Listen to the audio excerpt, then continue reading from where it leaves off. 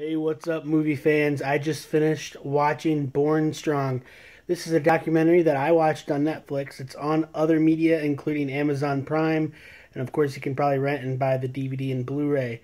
Uh, this film documents four of the strongest strongmen in the entire world from their journeys from countries like Iceland and America and all the way to Columbus, Ohio site of the Arnold Classic.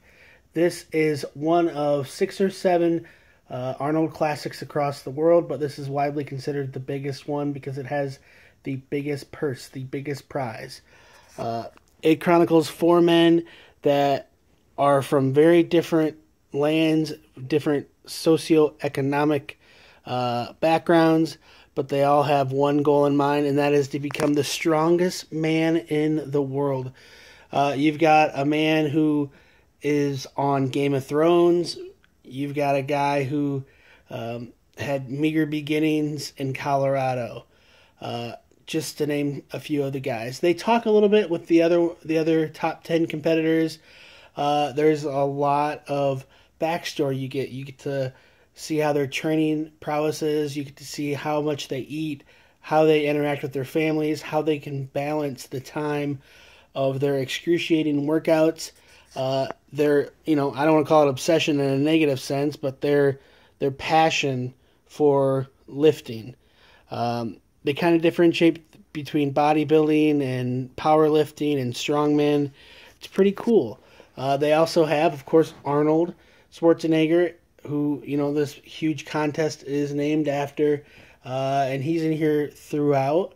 Mark Henry, who was the world's strongest man, who former pro wrestler.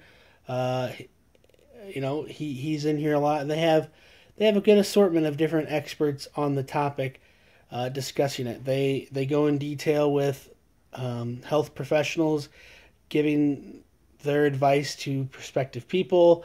Uh, you know, warnings that this is not necessarily the safest thing to do to your body.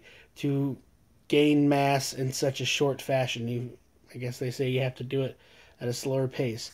Uh, this is not an overnight success. These guys are all working so hard at it.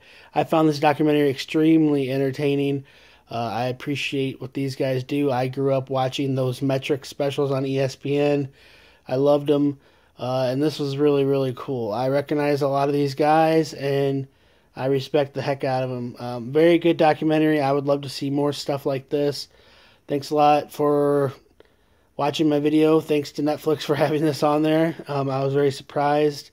Uh, I had unfortunately not heard of this movie, and uh, but I had heard of these guys, so it was pretty cool to see this awesome documentary. As soon as I saw it, I said I had to watch it. So, highly recommend it. If you have any recommendations for other documentaries, if, if they're on you know a streaming service, preferably, because I have Hulu, Amazon, and um, Netflix. So, but if you have something else you recommend, leave a comment. I'll try my best to check it out. I love doing reviews.